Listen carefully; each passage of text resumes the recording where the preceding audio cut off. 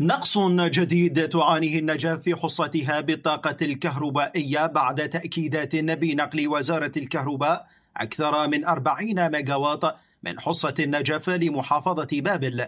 أمر يجعل المحافظة وأهلها يعانون مجددا من معضلة توفر الطاقة التي تشهد تراجعا بالأساس. المعلومات أنه الإنتاج هاي المحطة 150 ميجا واط يعني اللي راح يستقطع منها بحدود 45 إلى 50 ميجا.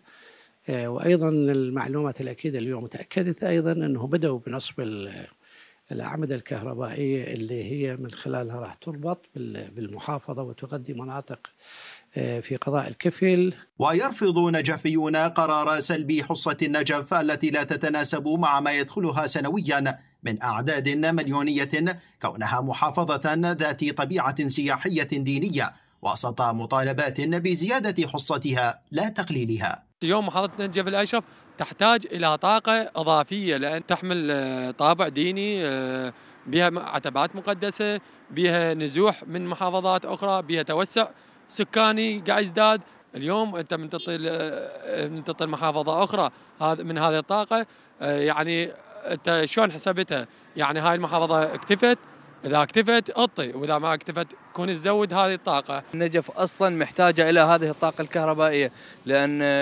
حاليا أكو تحسن في الطاقة الكهربائية ولكن في في في فترة الصيف هناك انقطاعات كثيرة وإذا أخذت الحصة من النجف الأشرف راح تبقى محافظه النجف صفر آه، من هذه الناحية، نطالب الجهات المختصة بالنظر إلى هذا الملف. وتبلغ الطاقة الإنتاجية من الكهرباء التي تجهز للنجف في فصل الشتاء قرابة 700 ميجا واط فيما تحتاج إلى 900 ميجا لسد حاجتها الفعلية في وقت تسعى الوزارة إلى تقليل هذه الحصة.